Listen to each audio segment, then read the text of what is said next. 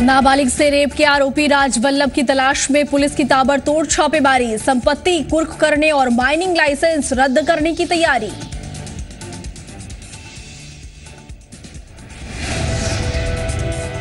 लातेहार में नक्सलियों का उत्पाद पंचायत भवन को विस्फोट कर उड़ाया, वारदात के बाद से इलाके में दहशत का माहौल। हाजीपुर में दर्दनाक सड़क हादसा, बाइक और ट्रैक्टर में भिड़ंत, एक की मौत, लोगों ने की ट्रैक्टर चालक की पिटाई। रांची में एक शातिर ने एक परिवार को बनाया कंगाल, मदद के नाम पर एटीएम से उड़ाए करीब साढ़े ग्यारह लाख रुपए तफ्तीश में जुटी पुलिस।